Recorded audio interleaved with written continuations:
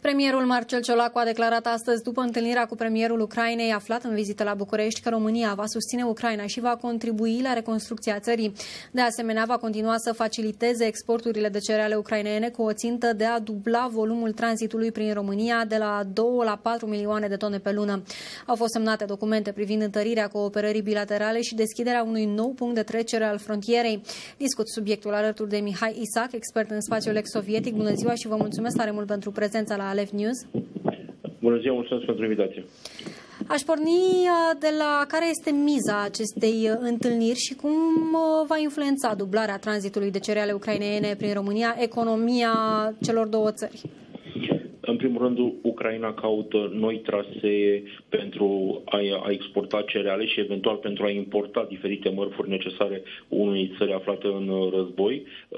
România poate să folosească acest moment pentru a-și dezvolta propria infrastructură, pentru că totuși noi suntem restanți inclusiv la infrastructura necesară exporturilor noastre agricole. Deci autoritățile de la București ar putea să folosească acest prilej pentru a obține fonduri europene pentru a mări capacitatea de export a diferite porturi din România și aici nu vorbim numai de portul Constanța, unde problema este cunoscută, dar ne referim inclusiv la portul Brăila sau portul Galați. Între Galați și Republica Moldova și Ucraina există o linie de cale ferată construită după model sovietic, care a fost reparată în ultimele luni, iar acesta este doar un exemplu de ceea ce se poate face pentru ca uh, România să sprijine acest efort de dublare a exporturilor ucrainiene de cereale prin uh, România. Totodată, autoritățile ar trebui să ia diferite măsuri pentru a proteja piața internă de aceste uh, exporturi de cereale ucrainiene,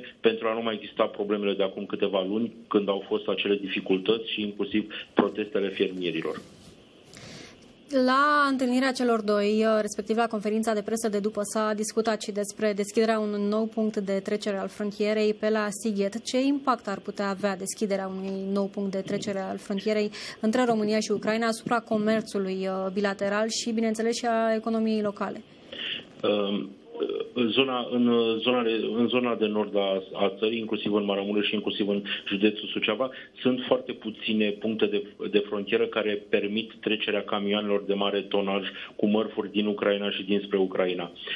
Cum am, cum am spus, orice uh, modalitate de îmbunătățire a infrastructurii din România va ajuta foarte mult economia României. Trebuie să ne gândim că după acest război, va urma o perioadă de reconstrucție a Ucrainei. Iar dacă România are capacitatea și infrastructura necesară, atunci participarea la acest proces de reconstrucție al Ucrainei va avea un efect benefic pentru economia uh, națională. Și în afară de acest nou punct de trecere a frontierei de la, uh, din zona Sighetului Marmației, ar trebui îmbunătățită inclusiv uh, schimburile de mărfuri și modalitatea de trecere a mărfurilor și în zona de sud, de sud a uh, României. Și aici ne referim la faptul că între uh, Galați și vărsarea Dunării în mare nu există decât un singur, un singur punct de trecere a frontierei pe la Isac cea Orlovca, iar aceasta este un, un punct de trecere a frontierei cu Bacul ar fi foarte benefic pentru economia României ca și în zona respectivă să se facă investiții și poate putem spera inclusiv la construcția unui pod care ar ajuta foarte mult economia Dobrogei, o economie care este dependentă de turism și care nu are alte modalități pentru a ieși din uh, această zonă de sărăcie perpetuă în care se află. Vă mulțumesc tare mult atât pentru analiză cât și pentru prezență.